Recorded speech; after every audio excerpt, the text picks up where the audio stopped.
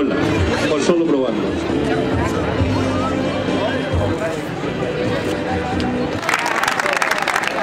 que más que un tributo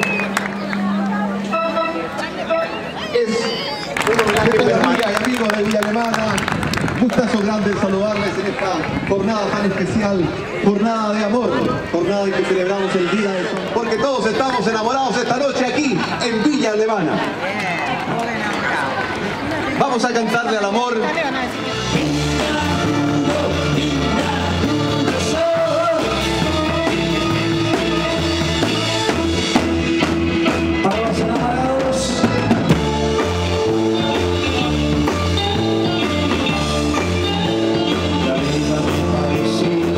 Encuentro que son unas actividades muy bonitas que se realizan acá en la comunidad de Villa Alemana, en la Plaza Belén, que puede reunir a muchas personas y como la entrada es liberada, todos están invitados.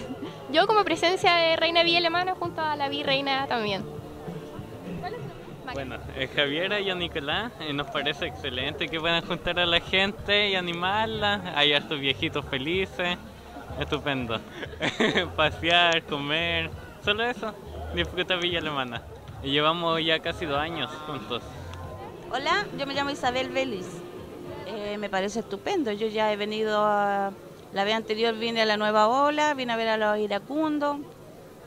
Y ahora me repito, vengo a verlos de nuevo. Y sí, me parece bien.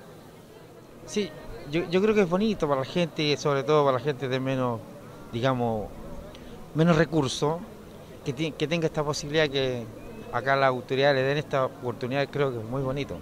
No, vengo especialmente a la actividad por la publicidad que se anunció, porque yo vivo para Troncos Viejos, vivo yo. Entonces, pues, si decimos una hora, una hora tiene que partir, yo creo que es lo que tiene que hacer.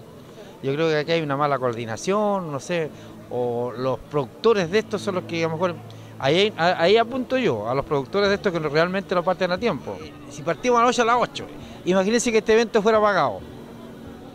Mi nombre es Carlos Parra, soy de aquí de Villa Alemana.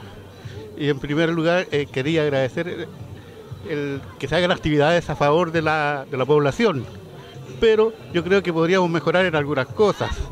Por ejemplo, que si se dan 100 o 200 invitaciones, se pongan 200 sillas, porque hay gente que llega temprano y acapara 10 y 20 sillas y le deja sin posibilidades de sentarse a la gente de más edad.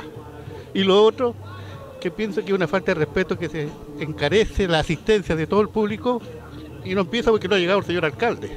Entonces el señor alcalde que tenga un poquito más respeto por la población.